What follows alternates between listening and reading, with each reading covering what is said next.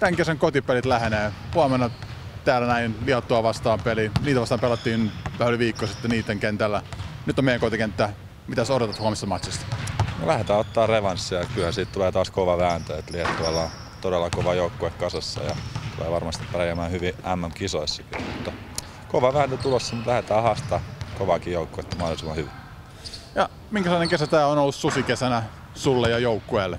No onhan tämä vähän erilainen kesä ollut, kun ei mitään virallisia pelejä ollut ja tässä oli oikeastaan vähän aikaa antaa kropankin levätä ja ottaa vähän iisimmin, niin sinänsä ollut, mutta nyt on ollut hyvä, hyvä stintti tällainen, mitä pari-kolme viikkoa vedetty yhdessä ja, ja kehitytty selkeästi joukkueena ja nuoret on päässyt hakemaan uutta kokemusta ja kehittynyt selkeästi, niin hyvä, hyvä kesä ollut tähän mennessä.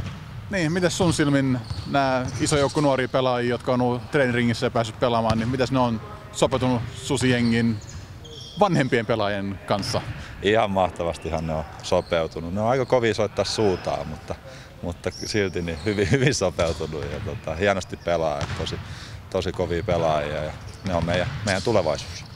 Niin sanoisin, että on saanut vähän antaa kropan levätä, mutta mitäs sun mielestä joukko on tältä kesältä niin saanut eniten vietyä mukanaan, kun sanoit, että ei ole karstopelejä, ei ole kisoja, niin mitä me ollaan tästä niin opittu ja mitä te olette niin treenissä oppinut, mitä ei ehkä olisi muuten tullut opittua?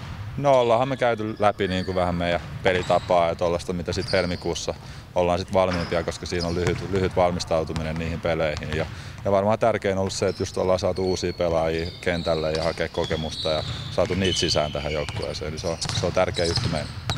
Ja minkälaisia terveisiä sä haluat lähettää faneille, jotka tänne tulee huomenna ja sunnuntaina kannustamaan? Ei, kovaa mökää päälle vaan ja nähdään, nähdään huomenna ja sunnuntaina.